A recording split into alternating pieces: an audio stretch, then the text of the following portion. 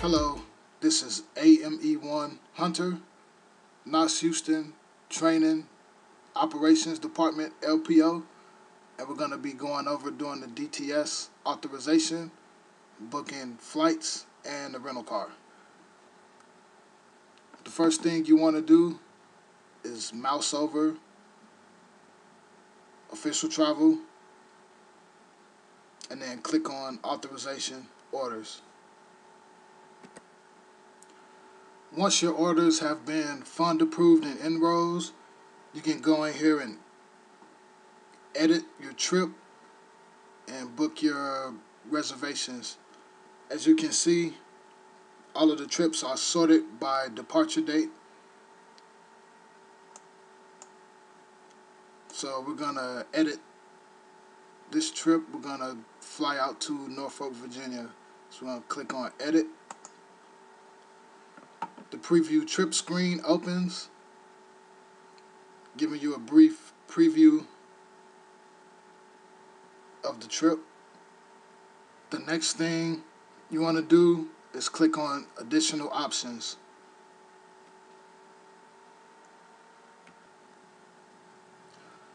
Once the additional options screen opens, you can update your personal information, your address, your phone number.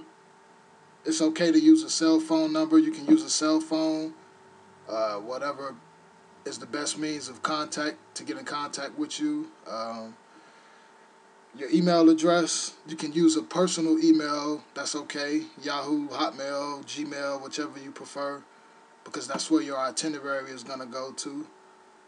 If you have a Navy email in there and you don't check your Navy email that often, go ahead and take that out and put your personal email in there.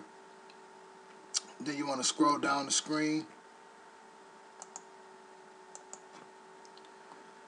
Once you've updated all of your personal info, click the link that says Save Changes to Permanent Traveler Information, and then click Update Personal Information. Once you have done that, you want to click on the link that says My Account Information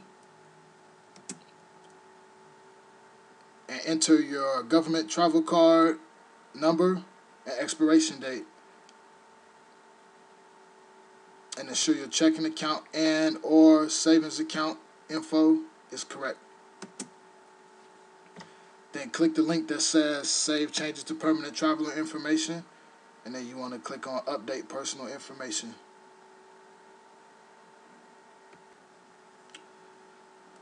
Once you've updated your info, you can click on the Travel tab.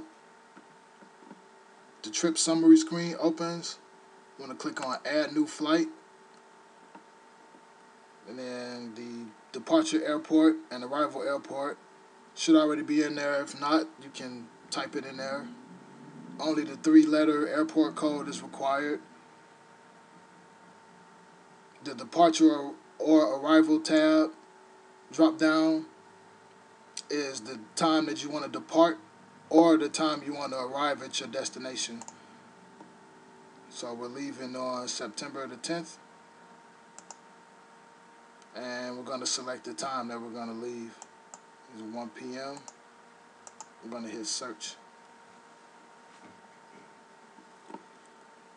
If there is a GSA contract airfare available, you have to select one of those. Otherwise, you're going to have to give a justification to your authorizing official prior to your flights getting booked.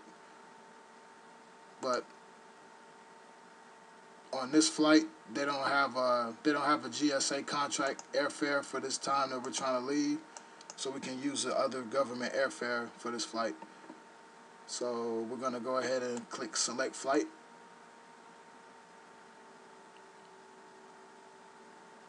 Not all airlines have seat maps available. If not, we're gonna click no preference. Click done. No preference again. Click done. All right, now we have our outbound flight in here. So now I want to click add new flight. and this is unique to the reserve travel.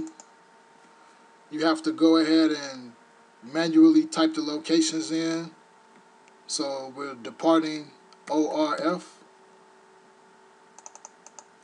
going back to IAH, leaving Norfolk, going back to Houston. Then I'm going to click on imported document and we're flying out on the 25th. So I'm going to change the date to the 25th. And I want to leave out at 7 a.m. Hit search. As you can see, they have a GSA contract airfare for this flight. So I'm going to go ahead and select this flight.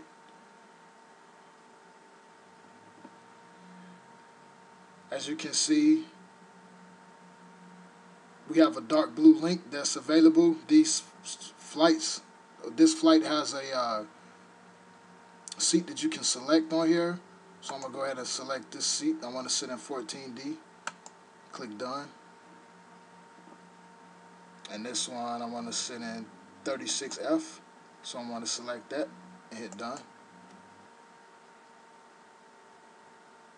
All right. Now you see we have our flights going out to the location and coming back. So now we're going to hit add new rental car, pickup date, drop off date, the time. You can refer right here to the reservation summary if you forget what flights you put in. So we're arriving in Norfolk at uh, 6.28 p.m. So we'll pick the rental car up about 7 p.m. on the 10th. And we fly out at 7.06 a.m. So we're going to drop the rental car off at about 6 a.m.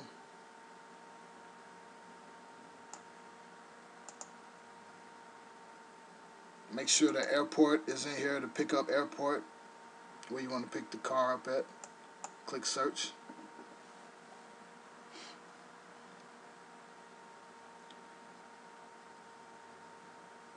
Alright, then we're going to scroll down. You have to select the cheapest rental car. Otherwise, you're going to have to type in a justification to your approving official why you didn't select the cheapest rental car. And you can see the price right here, 337.20 355.58.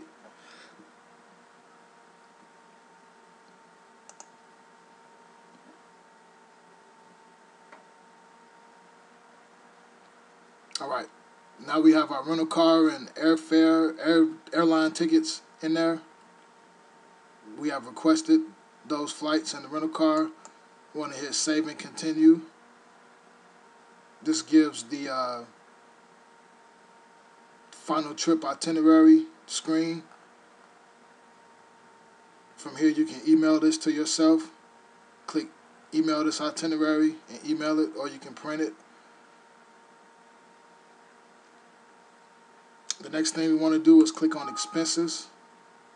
You get a pop-up window saying your confirmed travel reservations will be canceled in 24 hours if your authorization remains unsigned. Then you get another pop-up saying the travel authorization must be stamped signed from the digital signature screen to transmit reservation changes to the CTO. This trip will not route and cannot be approved until signed. But we're going to sign it right now. the expense screen opens up. This is where you're going to estimate how much gas you're going to use, if you uh, anticipate having any taxes or anything, any tolls. So we're gonna hit the drop down menu. As you can see, we have all of these expenses in here. So we're gonna select gasoline, rental car, gov car, government car. And we're gonna estimate the cost at being $100 for gas. If you have any more expenses that you think you're going to occur, you can put them in a drop down and go ahead and uh, scroll down to the bottom and hit save expenses. Then you want to click on the mileage tab. The mileage tab is where you can put your mileage from driving your personal car to the airport and back. If you take a taxi, then you can't use mileage because obviously you're not driving your car and you would put it in non-mileage and claim taxi to terminal.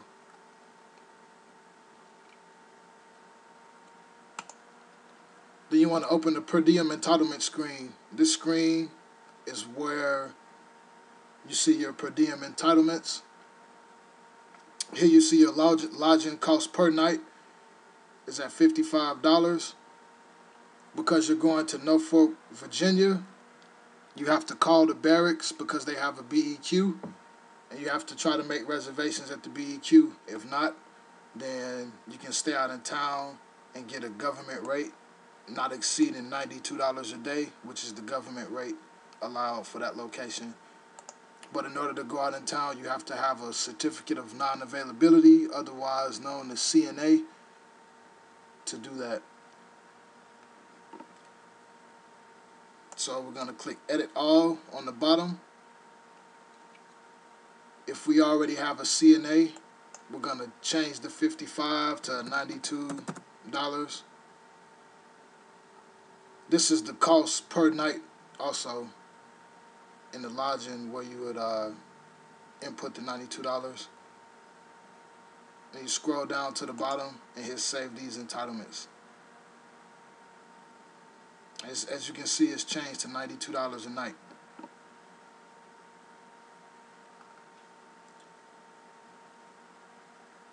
The next thing we're going to do is review and sign it. Preview trip screen opens again other authorizations.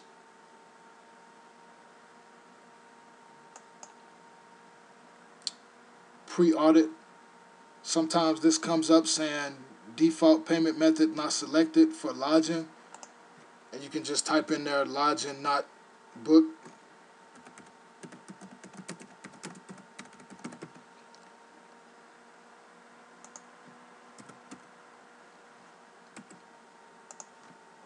possible excessive expense, uh, estimated expense.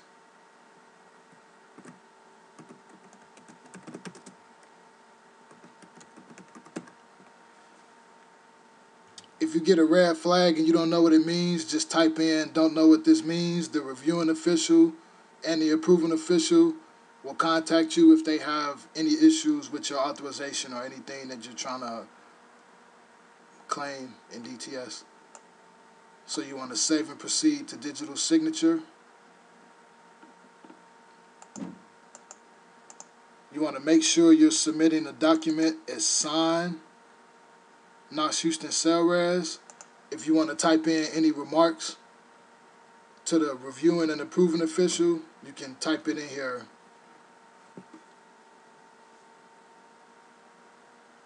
And then submit completed document. Your signature is going to be processed. You may or may not have to put your PIN number in. As you can see, it's the status of the document is CTO submit. That means that it's going to the commercial travel office and they're going to book your flights. The next status is going to be CTO book. They have 24 hours to book your flight after you submit submit it to the CTO. Um, your tickets will be paid for no later than 72 business hours prior to you leaving. You can call the airline and verify that your your flights are paid for prior to getting to the airport. Uh, if you have any questions, contact myself or contact Seaman Outlaw for further assistance. Thank you.